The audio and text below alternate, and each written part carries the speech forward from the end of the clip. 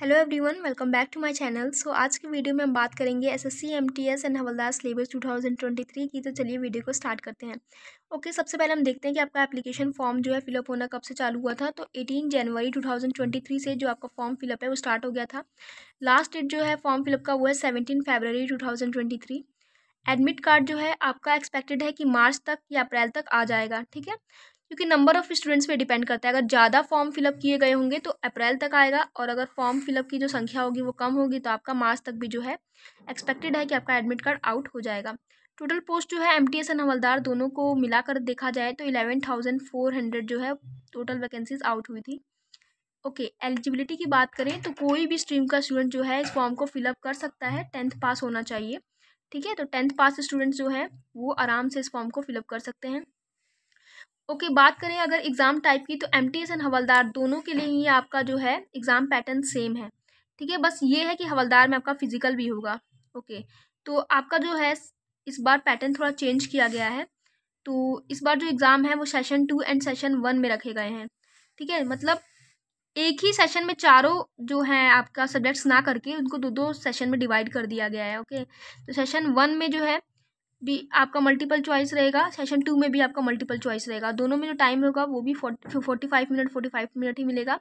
And जो दोनों ही है, वो सी बी टी बेस्ड होगा, ठीक है? कंप्यूटर बेस्ड एग्जामिनेशन होगा। एंड हवलदार में, जैसा कि मैंने आपको ऊपर बताया कि हवलदार में जो है, आपका एडिशनल में क्या है? पी टी और पी एस टी टेस्ट ठीक है? ओनली फॉर हवलदार पोस्ट जो है, आपका फ़िज़िकल टेस्ट होगा। चलिए, सबसे पहले बात करते हैं सेशन वन की। तो सेशन वन में जो है, आपका सब्जेक्ट में रहेगा न्यूमेरिकल मैथमेटिकल एबिलिटी मतलब आपका मैथ्स रहेगा एंड रीजनिंग रहेगा। बात करें अगर मैथ्स की तो मैथ्स के बीस क्वेश्चन रहेंगे और बीस क्वेश्चन रीजनिंग के रहेंगे, ठीक है? एंड मैथ्स कितने मार्क्स का होगा? देखो, मैथ्स के बीस क्वेश्चन साठ मार्क्स के और रीजनिंग के बीस क्वेश्चन साठ मार्क्स मतलब टोटल जो है आपका सेशन वन, वो एक सौ बीस नंबर का होने वाला है, जिसमें चालीस क्वेश्चन रहेंगे। टाइम ड्यूरेशन की बात करें तो पैंतालीस मिनट जो है आपको मिलेगा। ठीक है? तो आपका सेशन वन आप समझ गए होंगे कि आपके दो सब्जेक्ट आ रहे हैं सेशन वन में मैथ्स और रीजनिंग इसमें नेगेटिव मार्किंग नहीं रहेगी स्टूडेंट्स आपका जो सेशन वन है वो ओनली क्वालिफाइंग रहेगा और उसमें जो है नेगेटिव मार्किंग नहीं रहेगी। इसमें आपके दो सब्जेक्ट हैं मैथ्स और रीजनिंग नंबर ऑफ़ क्वेश्चन बीस बीस रहेंगे ठीक है? और साठ साठ मार्क्स का आपका क्वेश्चन रहेगा। टाइम जो है पैंतालीस मिनट मिलेगा। बात करें सेशन टू की तो इसमें भी दो सब्जेक्ट रहेगा जनरल अवेयरनेस और इंग्लिश इसमें जो है दोनों के ही पच्चीस पच्चीस क्वेश्चन रहेंगे seventy five seventy five marks के मतलब वन फिफ्टी वन फिफ्टी जो है, आपका मार्क्स का ये जो है पेपर होने वाला है, जिसमें पचास क्वेश्चन रहेंगे। पच्चीस जनरल अवेयरनेस के क्वेश्चन रहेंगे और पच्चीस इंग्लिश के क्वेश्चन रहेंगे। टाइम जो है आपका ड्यूरेशन कितना मिल रहा है? फोर्टी फाइव मिनट आपको जो है वो टोटल मिल रहा है। ठीक है? तो जो सेशन टू है, उसमें आपका नेगेटिव मार्किंग रहेगा वन पॉइंट ज़ीरो का। ठीक है? देखिए, क्लियरली ये डाउट क्लियर कर लीजिए कि आपका जो सेशन वन है, उसमें नेगेटिव मार्किंग नहीं होने वाली है। सेशन टू है, उसमें नेगेटिव मार्किंग रहेगी वन पॉइंट ज़ीरो की।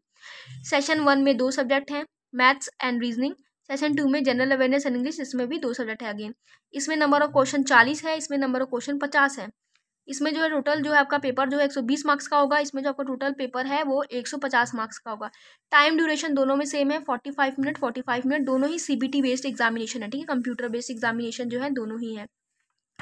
Okay moving to the next अब हम देखेंगे कि एम टी एस हवल मतलब हवलदार में जो है आपका फ़िज़िकल होगा तो किस टाइप का होगा? फ़िज़िकल में इस बार जो है आपकी वॉकिंग रहेगी मेल के लिए सोलह सौ मीटर वॉक करना है, पंद्रह मिनट में फीमेल को एक किलोमीटर वॉक करना है, बीस मिनट में। हाइट की बात करें तो मेल के लिए one fifty seven point five centimetre चाहिए एंड फीमेल के लिए वन फिफ्टी टू चाहिए। चेस्ट की बात करें मेल में तो एट्टी वन सेंटीमीटर चाहिए। वेट की बात करें तो फीमेल्स का जो वेट होना चाहिए फोर्टी एट के जी होना चाहिए। ओके okay, बात करते हैं एज की। तो एमटीएस फॉर्म को फिलअप करने के लिए आपकी एज 18 से 25 साल के बीच में होनी चाहिए। हवलदार के पोस्ट को फिलअप करने के लिए आपकी एज जो है 18 से 27 साल के बीच में होनी चाहिए। यस एज रिलैक्सेशन है ओबीसी के लिए तीन साल का एज रिलैक्सेशन है और आपका जो है एस सी वालों के लिए पाँच साल का एज रिलैक्सेशन दिया गया है। और भी जो पीडब्ल्यूडी और एक्स सर्विस मैन वगैरह है उन लोगों के लिए भी एज रिलैक्सेशन है उसको आप पीडीएफ में चेकआउट कर लें। Okay so next we are moving to the most important question ठीक है? वो ये कि जो सिलेबस है हमारा, उसके अंदर कौन कौन से चैप्टर जो है वो आएँगे? स्टूडेंट्स बहुत ज़्यादा कन्फ्यूज़ हैं इसमें, ठीक है? कि कौन सा चैप्टर आ रहा है, कौन सा नहीं आ रहा। तो चलिए, उस कन्फ्यूज़न को भी हम देख लेते हैं, दूर कर लेते हैं।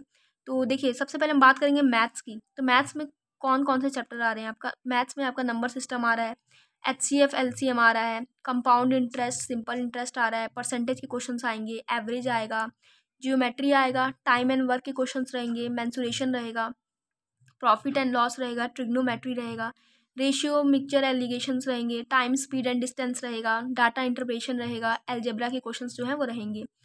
ओके okay, बात करेंगे रीजनिंग की। रीजनिंग में क्या आएगा? आपका नंबर एंड अल्फ़ाबेटिकल सीरीज़ आएगा रीजनिंग में। कोडिंग डिकोडिंग के क्वेश्चंस रहेंगे। नॉन वर्बल रहेगा। पेपर फोल्डिंग एंड कटिंग रहेगा। मिरर इमेज रहेगा। काउंटिंग फिगर्स रहेंगे। एनालॉगी रहेगा, ऑड वन आउट रहेगा आपका रीजनिंग में, सिलोजिज्म रहेगा, मैथमेटिकल कैलकुलेशंस भी रहेंगी, रैंकिंग के क्वेश्चंस रहेंगे, ब्लड रिलेशंस रहेगा, मैट्रिक रहेगा, word, words order according to dictionary रहेगा, ठीक है? तो ये रीजनिंग का था। एक बार और आप जो है चैप्टर्स को देख लीजिए, अगर आपको स्क्रीनशॉट लेना हो so you can take it okay moving to next which is general awareness general awareness में जो है आपका economics history culture static GK India and its neighbouring countries रहेगा जियोग्राफी रहेगा साइंटिफिक रिसर्च रहेगा जनरल पॉलिटिक्स रहेगा स्पोर्ट्स के question रहेंगे और इंडियन कॉन्स्टिट्यूशन के क्वेश्चन रहेंगे। अब जो लास्ट बात कर रहे हैं, वो हम बात करेंगे इंग्लिश लैंग्वेज की। तो आपके इंग्लिश में स्पॉट डेरर रहेगा spelling detecting and misspelt word रहेगा फिल इन द ब्लैंक्स रहेगा। आइटम्स एंड फ्रेजेस रहेगा synonyms antonyms one word substitution improvement of sentences and comprehension passage ये सब जो है आपके इंग्लिश में रहने वाला है, ठीक है? आप स्क्रीनशॉट ले सकते हैं general awareness and English language के सिलेबस का भी। ओके आई होप आपने स्क्रीनशॉट ले लिया हो। Thank you so much for watching this video अगर वीडियो हेल्पफुल लगे तो वीडियो को लाइक करें कमेंट करें और शेयर करें।